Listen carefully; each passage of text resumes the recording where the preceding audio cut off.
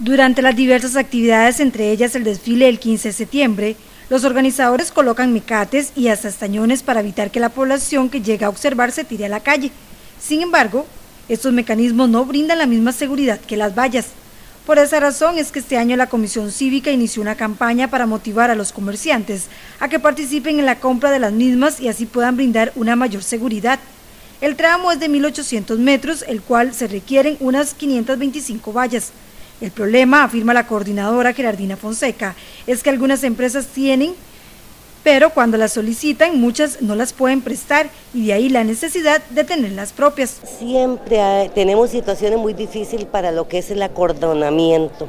Entonces antes usábamos mecates, esos gruesos y los, eh, la gente se enredaba y se caía, se, se convirtió, los estañones, se convirtieron en un peligro.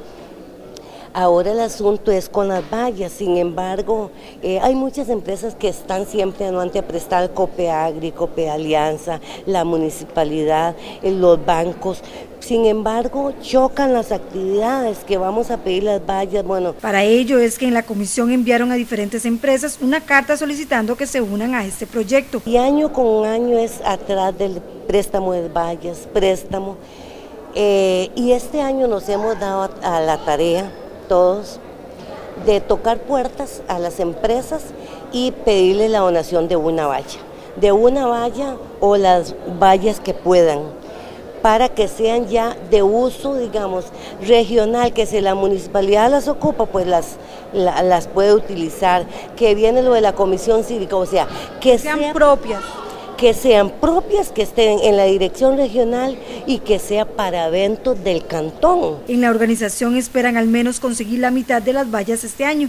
Eso sí, cada una tendría el logo de la empresa que la patrocine. La valla va a llevar em, algo sencillo, Ministerio de Educación Pública y Dirección Regional, bueno, una frase en el centro y en, un extremo abajo va a venir el logo o el patrocinador de esa valla. Entonces estamos tocando puertas para que ojalá no nos regalen una, nos regalen varias vallas.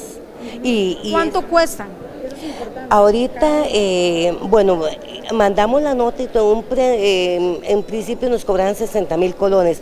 Ahora estábamos haciendo nuevos cálculos aquí con una compañera y va saliendo como en 40, 50 cada valla. Si alguna persona quiere unirse a esta iniciativa, puede comunicarse al número telefónico 2771-0328 o escribir al correo electrónico gmail.com